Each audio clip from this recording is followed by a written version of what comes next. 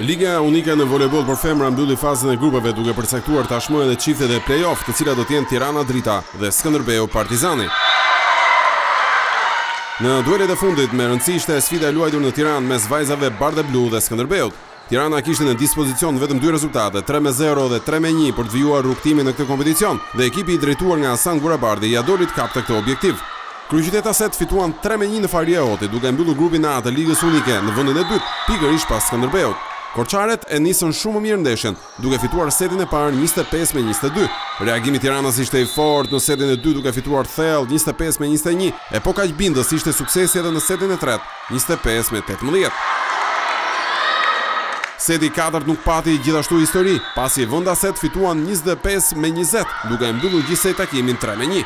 Festë tek bardheblutë, të cilat do të gjejnë në gjysmëfinalen e Ligës Unike, Dritën e Gjilanit. e cila zhvilloi një fazë grupesh brilante duke marrë gjashtë fitore dhe pa humbur asnjë set. Ndërkohë për korçaret kjo humbje nuk dogji, pasi ruajtën vendin e parë dhe tani do të përballen në gjysmëfinalen tjetër kundër Partizanit të Tiranës. Faza finale e Ligës Unike do të zhvillohet në Korçë nga data një deri në tre mars, teksa Skënderbeu për femra është fituese dy herë radhazi e Ligës Unike.